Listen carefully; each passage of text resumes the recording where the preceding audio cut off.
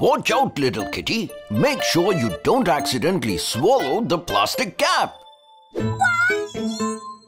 Let me explain by answering a risky question. What if we accidentally eat plastic? Zoom in! Children who are naturally curious and like to put things in their mouth often end up accidentally eating plastic.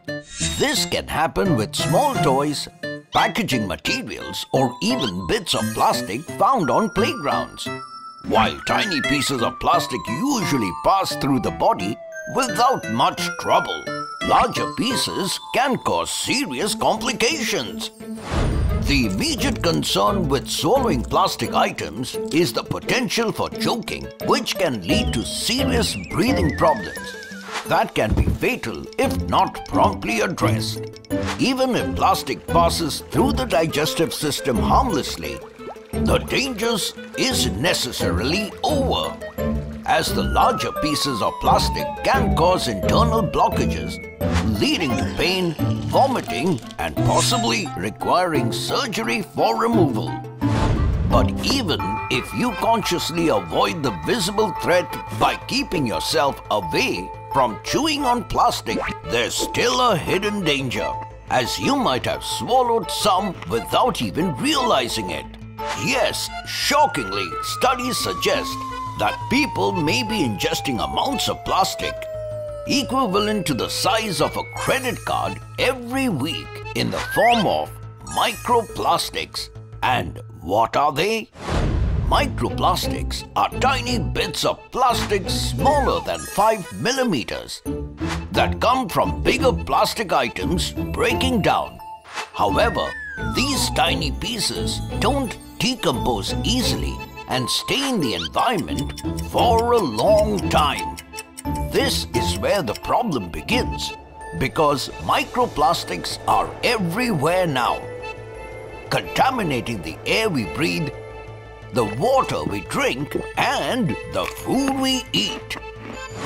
When we continually consume items contaminated with microplastics, the intestines can absorb these particles and transport them to other body parts via blood circulation. As many of these plastics are coated with harmful chemicals, they can damage our liver, kidneys and lungs, which can again cause serious concerns. Moreover, microplastics can disrupt our hormones because these tiny particles can mimic hormones and interfere with the body's natural balance. This disruption can cause issues with growth in children and reproduction in adults and may even increase the risk of serious diseases like cancer. Fortunately for us, the amount of plastic entering our organs is very small However, we cannot overlook the potential long-term effects of continuous exposure. Therefore, it's essential to take certain steps to ensure our safety. What exactly are these steps? Firstly, drinking water and eating food from plastic containers or wrappers are the primary sources of microplastics, so it's wise to try to avoid them. Instead, opt for fresh foods and use fun, reusable containers made of glass, stainless steel or copper to carry your snacks and drinks. Additionally, making small changes like choosing products with less packaging, refusing single-use plastics, properly disposing of trash and participating in cleanup efforts can also help prevent plastic from entering nature. But it's not just up to individuals. Governments and large organizations need to step up as well. They should implement stricter rules regarding the production and use of plastic, promote recycling, and explore alternative materials that are less harmful to the planet.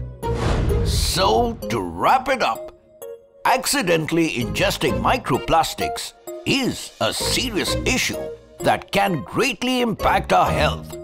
But by educating ourselves about the risks and collaborating to reduce plastic pollution, a topic we've already discussed in our previous video, we can maintain our health and safeguard the environment for future generations. Trivia time! Did you know that Americans consume between 39,000 to 52,000 units of microplastics annually?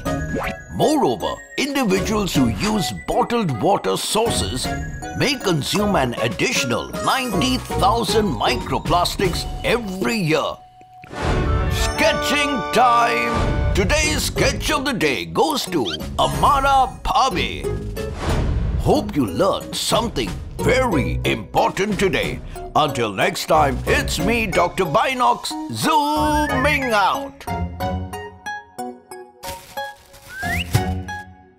Products of plastic. Never mind.